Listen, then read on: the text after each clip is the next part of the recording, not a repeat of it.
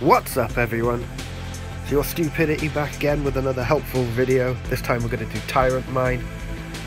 I'm going to show you the three secret areas and I've also got one of my mates, Rabid Mass with me, rocking the Colossus. So I'm going to be cutting these videos down just due to time constraints. Um, first things first, watch out for those mines, they blow up, they hurt. Now, as you can see, I'm on my interceptor. I always tend to go for these turrets first. Rabid Mass is going to be following me a lot because he's uh, priming everything. So we can combo it out and get it down nice and fast. Have to say he's got a nice looking Colossus. So we take out this first turret and then we move on to the second one which is just behind it. Um, you can actually use these turrets as cover so nothing else can shoot you. So long as you position yourself right on them. As you can see, I have to sort of dash around the side because I was getting shot. Rabid Mass comes in, he's still priming everything for me as we're going along.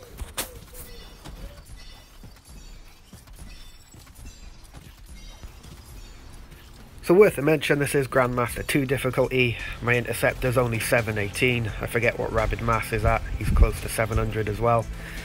Um, so after you get rid of the turret, start working on all the little ones. They uh, they don't last very long. Just prime them, kill them, do what you need to do. Um, watch out for the big guys with the machine gun, minigun things. Um, they've got quite a lot of shield. They will just rip you apart with their machine guns. Uh, you get a couple of waves coming out of each portal at this beginning part. Um, so just nuke them down, stay in the area, uh, back out if you need to recover your shield. Um, as an interceptor, I'm dashing back and forth between everything that's getting primed and just doing damage to everything.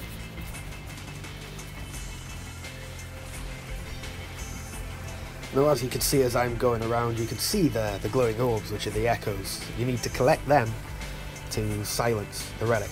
Um, that will move you on to the next bit. But some of the echoes on this are actually further up the track. But I do still advise on killing everything in this first area before moving up. So that's something to keep in mind.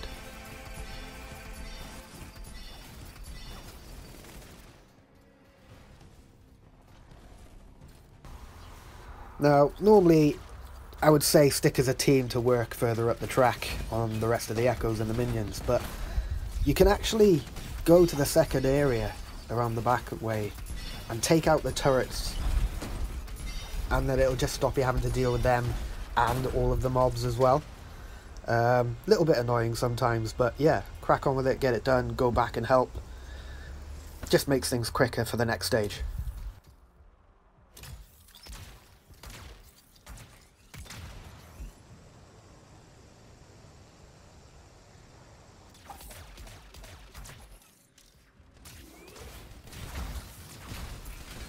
So as you can see here, me and Rabid Mass then fly back and help take out everything else before carrying on to the second zone.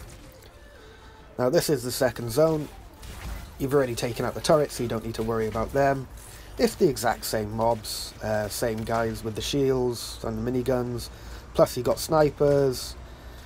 You actually have to collect uh, seven or eight of the echoes first, and then the second wave of creatures or mobs will come in um, target the guy that's got the target above him. If you kill him down nice and fast, it'll stop more and more mobs spawning in. And then as soon as you've killed him, you can collect the four echoes that are behind the cages to silence the relic.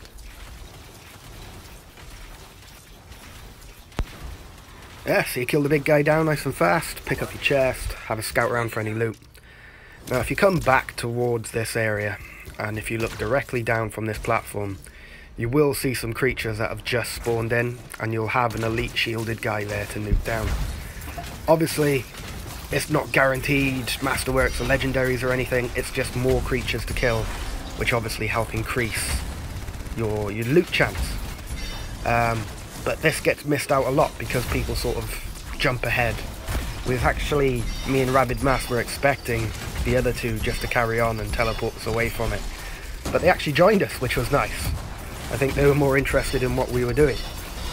But yeah, kill these guys down, see if you get anything. If not, not a big deal.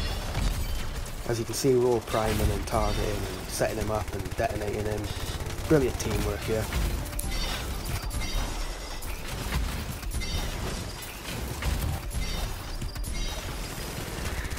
So yeah, as soon as you've killed this one, you can literally look up and to the right and you will see that's where you need to go anyway. So you can fly straight up, hit the waterfall to cool your jets, and then get to the next part. So as you carry through guys, through all these tunnels, kill everything. Every time you kill a mob, it's an extra roll or an extra chance of getting some loot. Now this is the second area. As soon as you've reached this area where the water is, if you fly straight up, you'll see the tunnel.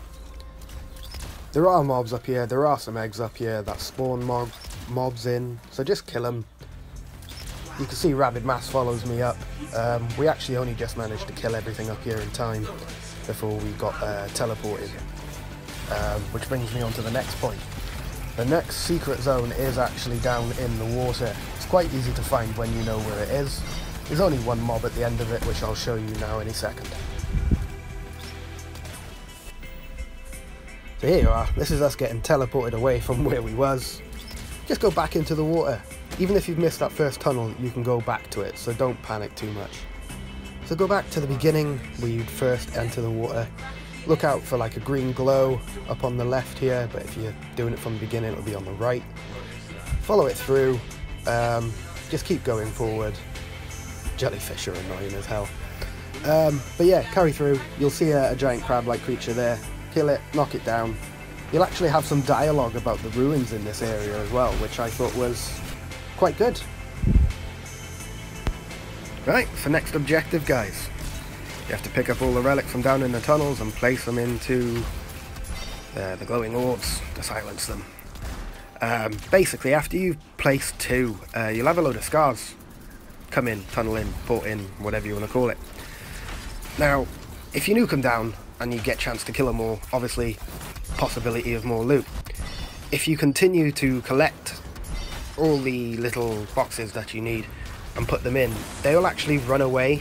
Um, so yeah, what I would suggest doing, especially if you're in a group of four, is collect two, place them in, kill all the scars, collect another two, place them in, and then you'll have some more scars pop in, which is again more of a loot chance. If not, if you're just going after a speed run, collect them, put them in, have it over and done with.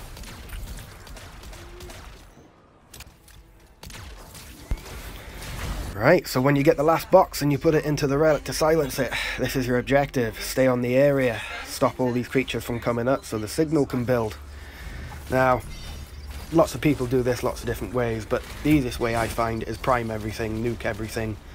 Normally, hopefully, one of your teammates is taking care of all the electrical balls in the background, so when you go back up to replenish your shield, you don't just get grounded because of the electrical ball. Um, as you can see, Rabid Mass, myself, priming, detonating, doing what we need to. I see all the electrical balls back, so I run back, kill them nice and fast. They do spawn in every couple of seconds, so uh, you'll want someone looking out for them. Now, I remember playing this, the first time I ever did it was on the, uh, the, uh, the, the, the demo, if you will, the alpha, the beta, whatever it was. Um, and I loved this. It just reminded me so much of like Starship Troopers, you know? Come on, you want to live forever? Kill them all. It was great. I really enjoyed this.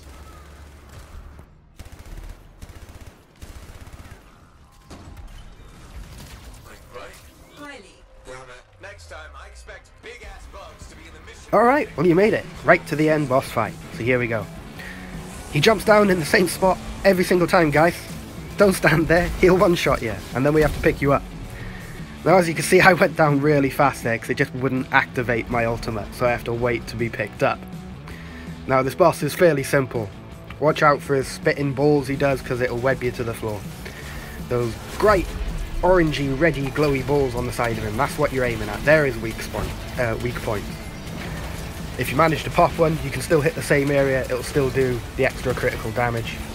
Um, you can prime him, you can detonate. Just carry on, nuke him down, dodge stuff. Watch out for all the, uh, the little scorpions that he spawns in. They can get you from behind without you even realising it. Now as soon as he runs away like you see he's doing here, you can still do damage to him when he's going up the wall. Worth giving it a shot, every little bit helps. Now, whichever cave, cave wall he climbs up, the tunnel next to it is where all the minions are going to spawn in. Now you can build your ultimate back up really fast by priming and then detonating everything in that cave hole. Now it takes a little while for everyone to get used to it, but as soon as you start, you can get your ultimate back. Um, now that guy's down behind us. I, I couldn't go and get him. All these extra ads would have killed me and put me down yet again. So yeah, that's basically the fight. Just kill him. He, he doesn't really go into a rage mode. You just got to keep doing damage to him. Um, now in this area, there is a ledge that you can go up on if you're finding it particularly hard for you. Um, but no one likes that guy. Don't be that guy. You don't want to be. So there we are, boys. End of the fight now. Kill him, get your loot. These keys use them. Now, I skipped the video just to save some time, plus I did go down more than I would have liked to in this video. Um, but there we are. Big shout out to Rabid Mask, my mate. And uh, yeah, I'm really looking forward to now this new stream coming out. Hopefully they're going to reveal stuff about the Sunken Temple that we're hopefully getting at the end of the month, or close to the end of the month. Um, so yeah, hopefully it'll be a new stronghold for us all to try out. Hopefully some new gear or whatever else new they're going to give to us. And uh, I will eventually put up a video about that as well, as soon as I get used to it and played it once or twice. See if I can help you guys out. Now, if you guys like the video, please like and subscribe. You know, I'd appreciate it a lot. It does help. And it just shows, you know, my effort was worth it. Okay, thanks very much. And remember, strong alone, stronger together.